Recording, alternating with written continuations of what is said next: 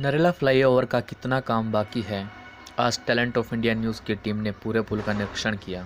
साथ ही हम बताएँगे कहाँ कौन सी कमियाँ छोड़ रही हैं एसपी सिंगल कंपनी और डीडीए के अधिकारी कितनी ज़िम्मेदारी समझकर काम कर रहे हैं। देखें पूरी खबर कैमरे की नज़र।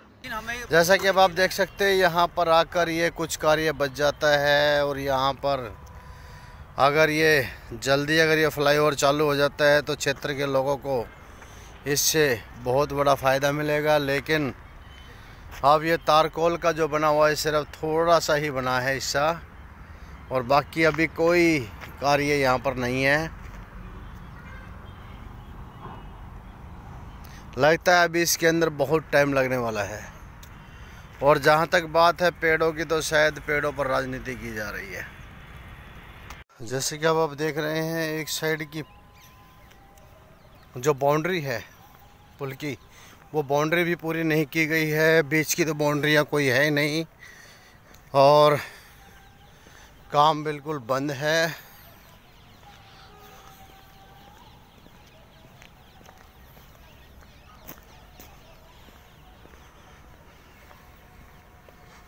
जी हाँ काम बिल्कुल बंद है। और जो साइड की जो बाउंड्री वॉल होती है, वो भी अभी पूरी नहीं की गई है। और अभी आगे चलते हैं, आगे देखते हैं, आगे क्या कुछ। काम अधूरा, काम पूरा, कहाँ तक क्या हुआ, क्या नहीं हुआ, उन सब चीज़ों की जानकारी लेते हैं। और ये हाई पावर टेंशन लाइन है। ये भी एक दिन यहाँ कुछ नुकसान खड़ा कर सकती है। क्योंकि बिल्कुल ही नज़दीक है। और इतना नज़दीक होने से ख़तरा तो बनेगा ही। ये भी बहुत ख़तरनाक है यहाँ पर।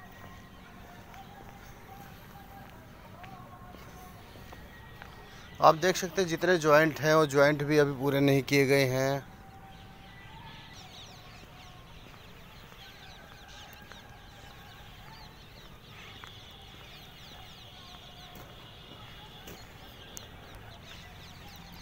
जी हाँ ये है एफ़ सी आई गोदाम। आप देख सकते हैं, ये एफ़ सी आई गोदाम का एक गोडाउन यहाँ पर भी है। और अब आपको बता दें, हम यहाँ से रेलवे लाइन का काम शुरू होता है शायद। और अब कितना बाकी है? अभी हम अपने दर्शकों को दिखा रहे हैं ये सब चीज़ें।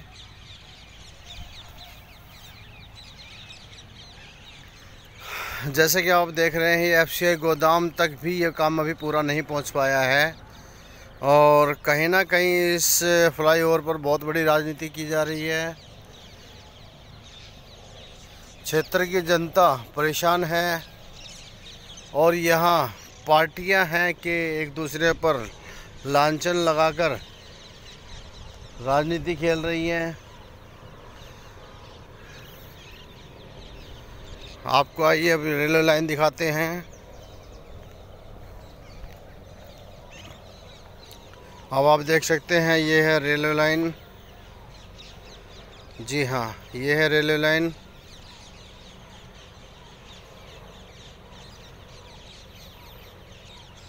और ये स्टेशन की तरफ़ जाता है अफशाई गोदाम है, ये साथ में पानी की टंकी है, मंडी की है। और आपको इधर हम दिखा दें, ये बोरगढ़ गाँव है। जी हाँ ये बोरगढ़ गाँव नज़र आ रहा है आपको, एफ़ सी आई गोदाम के पीछे। और इधर आप आ जाएँगे तो ये D S I D C है। जी हाँ D S I D C factory area, Bawana two. और ये कालका जी मंदिर है, आप देख सकते हैं, यहाँ पर आरती चल रही है इस वक्त। तो दोस्तों, हमारा ये आपको दिखाने का मकसद सिर्फ़ इतना ही है कि यह पुल का काम कितना बचा हुआ और कितना पूरा हो चुका है और कब तक ये बन सकता है, ये भी आप अंदाज़ा लगा सकते हैं कि अभी इसके अंदर तकरीबन तकरीबन कम से कम एक वर्ष के करीब इसके अंदर अभी लगेगा। क्योंकि जिस हिसाब से यहाँ काम कार्य दिखाई दे रहा है, उस हिसाब से यहाँ पर लगता है कि अभी एक वर्ष अभी लग जाएगा इसको। सत्यवादी राजा हरिश्चंद्र की तरफ़ जाने के लिए और आने के लिए। जी हाँ आप ये देख रहे हैं, मैं आपको दिखा रहा हूँ ये बवाना टू साइड से एफ़ गोदाम के ऊपर से। आपको ये सारी कवरेज दिखा रहे हैं। और अब हम आपको फिर आगे दूसरी साइड को भी दिखाएँगे। तो ये देख सकते हैं आप, यहाँ से आपको बीचों बीच रेलवे लाइन की पटरियाँ भी नज़र आएँगी। आप देख रहे हैं सामने रेलवे लाइन की पटरियाँ हैं ये। और जो रेलवे लाइन की तरफ़ से रेलवे वाले अपना पुल तैयार कर रहे हैं उसको मिलाने के लिए, इसको जोड़ने के लिए। और ये एफसीआई गोदाम के ऊपर का जो पुल है, अभी वो भी अधूरा पड़ा हुआ है। आप देख रहे हैं अभी ये इसमें प्लेटें लगी हैं अभी। अब यहाँ भी कोई कार्य अभी शुरू नहीं है। और जिस तरह से कई कई महीने तक इन सरियों को छेड़ा नहीं जा रहा है तो इसका सीधा सीधा तात्पर्य आप देख सकते हैं, इन पर जंग भी बहुत लग चुका है। ये देखिए, ये जंग, आपको ये जंग साफ़ साफ़ नज़र आएगा। जी हाँ ये सरिये यहाँ पे जंग खा चुके हैं। अधिकारियों को इस तरफ़ ध्यान देना होगा। आप ये देख रहे हैं, यहाँ पर ये सरिये बंधे हुए, ये सरिये यहाँ पर ये भी जंग खा चुके हैं। और यही कारण है कि हम अपनी जिम्मेवारियाँ नहीं समझते, जिसके कारण बड़े बड़े हादसे हो जाते हैं, पुल ध्वस्त हो जाते हैं, पहले ही उसमें वो गिर जाते हैं। और उसका मुख्य कारण यही होता है कि सरिये हम जो लगाकर छोड़ देते हैं और जंग खा जाते हैं, उसके बाद सरिये कच्चे हो जाते हैं।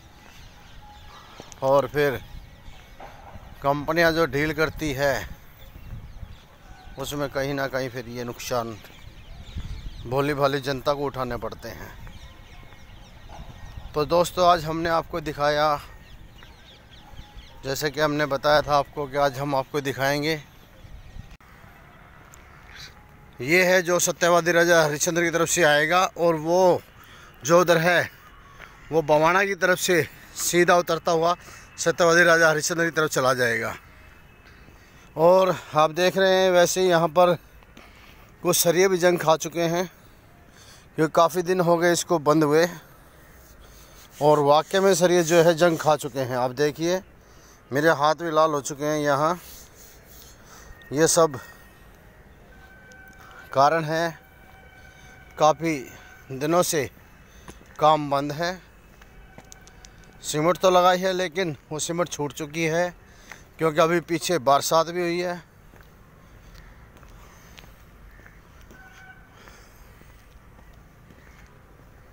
और अब देख रहे हैं, जैसे बीच में यह अधूरा कार्य है, अभी पड़ा हुआ है।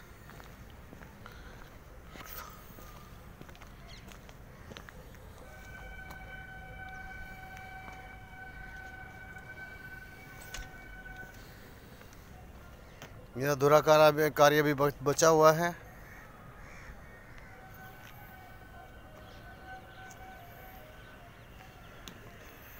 ये इधर आपको प्रेम कॉलोनी नरेला नज़र आ रहा है। यह व्यवसायी गोदाम का मंदिर है। दोस्तों, अब हमने आपको दिखाया कि पुल का काम कितना पूरा हो चुका है और कितना अभी बाकी बचता है। और ये काम किस तरह से चल रहा है यहाँ पर? हमने वो चीज़ भी आपको दिखाई कि यहाँ सरिये जो लगे हुए हैं, सरिये जंग खा रहे हैं। कितना नुकसान हो सकता है आगे जाकर? कितना नुकसान अभी उठा सकते हैं। और यहाँ पर कितनी बड़ी चूक है विभाग की तरफ़ से भी। और अभी कितना समय लग सकता है इसमें? ये आपको हमने दिखाया। तकरीबन तकरीबन ये अभी पुल एक साल और लेके जाएगा। जबकि इसका आधा अधूरा काम जो है उधर से पूरा हो चुका है, इधर से भी आधा अधूरा काम पूरा हो चुका है, लेकिन बीच के जो कार्य जो बचते हैं, हमने आपको सब दिखाए हैं। अब अगर जल्दी जल्दी में अगर कोई कार्य पूरा किया गया तो उससे कहीं ना कहीं नुकसान हो सकता है। टैलेंट ऑफ़ इंडिया से रोहता सिंह योगी